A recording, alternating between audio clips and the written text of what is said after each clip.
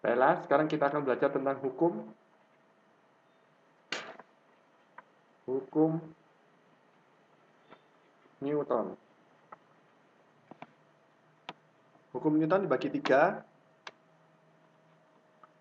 Hukum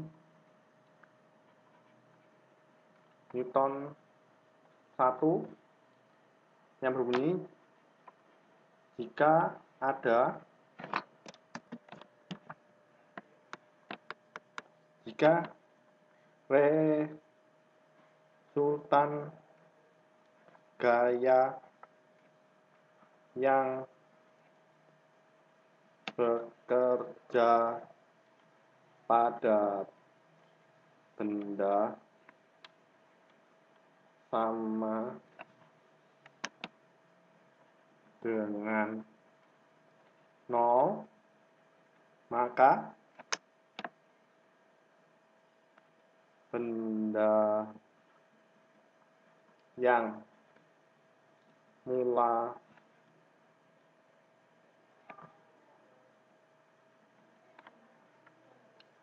mula diam akan diam.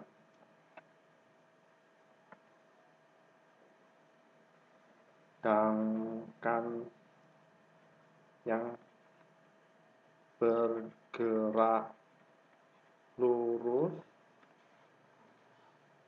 akan tetap bergerak lurus.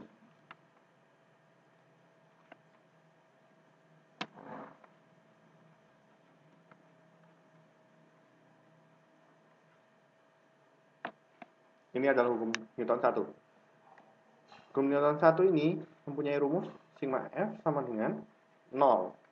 Seperti itu. Sekarang ini, hukum Newton 2.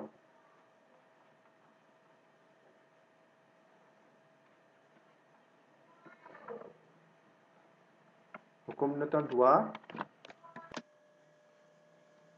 Hukum Newton 2 percepatan yang ditimbulkan oleh gaya yang bekerja pada suatu benda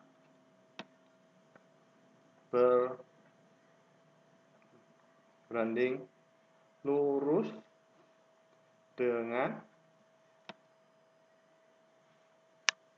gaya gaya tersebut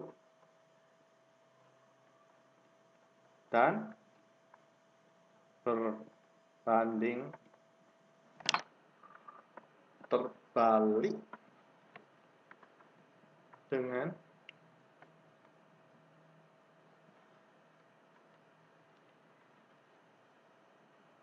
masa. Rumus yang digunakan sigma F sama dengan M kali A. Seperti ini. Jadi di mana sigma F itu adalah resultan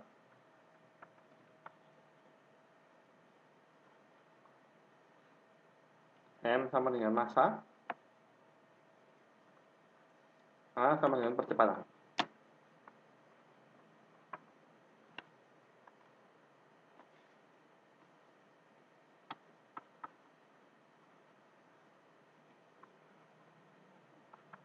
Hukum Newton 3.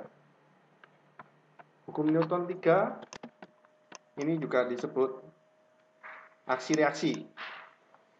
Jika sebuah benda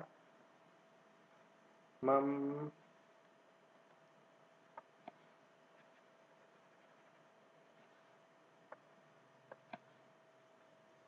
memberikan gaya pada benda yang lain.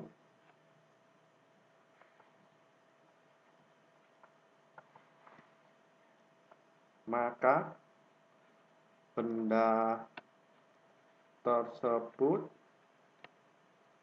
akan memberikan gaya yang sama besar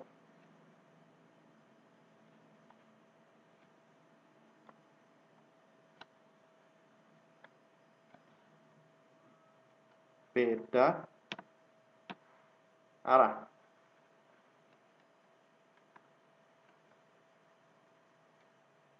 F aksi sama dengan main F reaksi. Seperti ini. Ini adalah hukum-hukum Newton beserta rumusnya. Jadi untuk benda yang diam atau lembam biasanya. Lembam itu biasanya digunakan hukum Newton 1. Karena ini juga disebut juga kelembaman. Sedangkan hukum Newton 2 itu untuk benda yang bergerak. Kalau hukum Newton 3 ini adalah hukum aksi reaksi. Jadi eh, hukum-hukum Newton ini dapat bergabung menjadi satu, tidak sendiri berdiri sendiri sendiri, gabung satu dua juga bisa, dua tiga juga bisa, tiga dua juga bisa, atau satu dua tiga juga bisa. Tetapi eh, tergantung soalnya. Jadi eh, tergantung bagaimana keadaan soal untuk menyelesaikannya. Demikian ini adalah hukum-hukum Newton. Terima kasih, semoga bermanfaat.